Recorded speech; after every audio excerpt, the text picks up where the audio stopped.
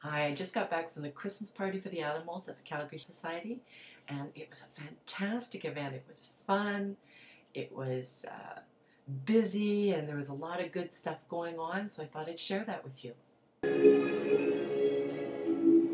Chestnuts roasting on an open fire. Jack Frost nipping at your nose. Yuletide carols being sung by a choir.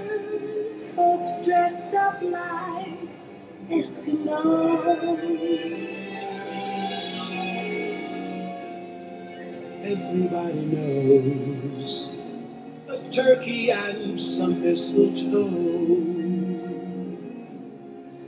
help to make the season bright.